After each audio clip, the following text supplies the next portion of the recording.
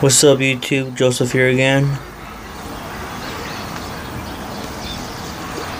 Same billiard. Same tobacco.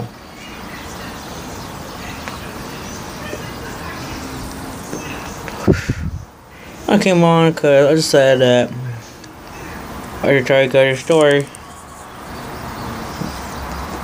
on how I started smoking pipes. Sorry for the movement. I was uh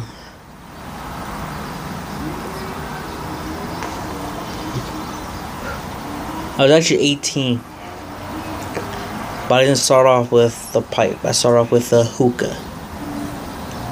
I started with hookah for a couple of years from 18 to like 19 years old I was on hookah.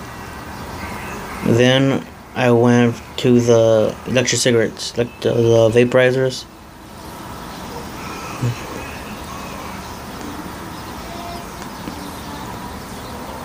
I'll start with that.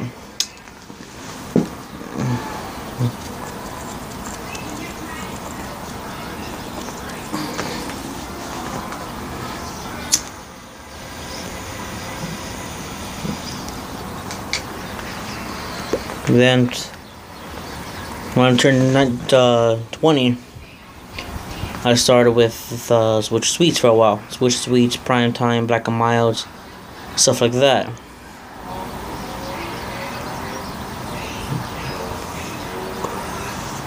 and uh, I didn't really get into the pipes until later. Later, I was 20 years old when I discovered uh, Dagner pipes. Jason Dagner, his father Jay Dagner. I saw a guy stoned upon them, and I uh, saw him smoking pipes. So I think, oh, cool, you know. I didn't think they sold pipes anymore. I thought they were gone because pipes were been around since my great grandpa used to smoke them.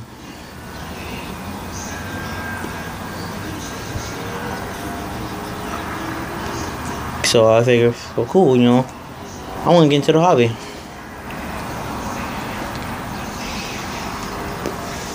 Fast forward three months later, I stumbled upon cigar obsession. I see him smoking a cigar, and I see him giving cigars, you know, high props about them, about their flavor, about their wrappers, about their binders, about everything you think on their fillers, and I figured, oh damn, you know, a pipe, a cigar sounds good too.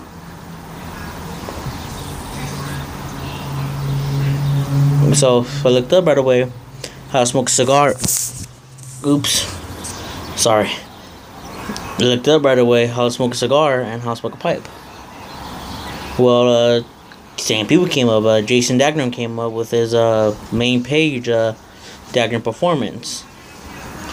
That came up with uh, how to smoke a pipe, and with a cigar obsession, his channel came up too with how to smoke a cigar.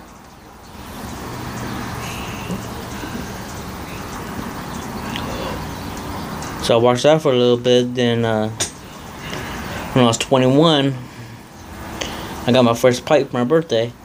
It was a Missouri Meerschaum.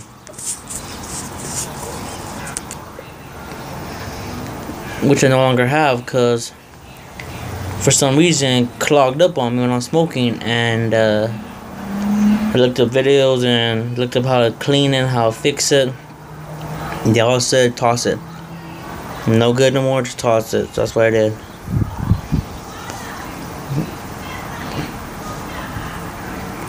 So, fast forward, my 21st birthday, like six months later, I received a cigar from my uh, uncle, my uncle, my uh, deal, if you will.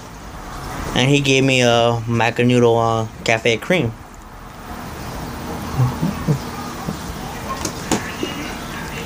So I smoked that, and I instantly fell in cigars. I instantly wanted more. I instantly want to taste more cigars and try more quality cigars. So I smoked that. I smoked a Gurkha. I smoked a Drew Estate. I smoked an Acid Blondie. I smoked maybe now about 20 cigars. 50, not 50, but 20, 30 cigars. And I'm still learning different cigars, bands, the shapes, the sizes. I'm still learning all that, but eventually I'll get the hang of it and I'll get everything down.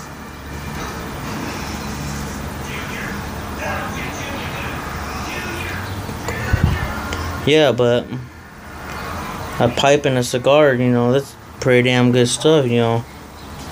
It's old, you know, it's classic, you know, relaxing. You could smoke at a bar, a hookah lounge, you know, not hookah lounge, but a cigar lounge. Kick back your buddies, have a cold beer. So I like it. And uh, that's my smoking story, how I got into the pipes and cigars. I will be smoking a cigar probably next month. Go buy a few, a couple of Gurkhas, a couple of Drew Estates. I don't know, it depends on how I feel. I'm trying to save money to get a tattoo done, so mostly. But uh, yeah, that's my story. I was smoking pipes and cigars, and I hope you guys enjoyed it. I'll see you guys on the next one where I might be smoking. I can't tell you the name of this pipe my dad gave to me as a birthday gift. And uh,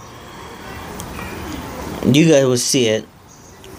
And let me know the name of it in the comments below if you guys know the name of it. If not, don't even worry about it. But until then, smoke on my friends. God bless and take care.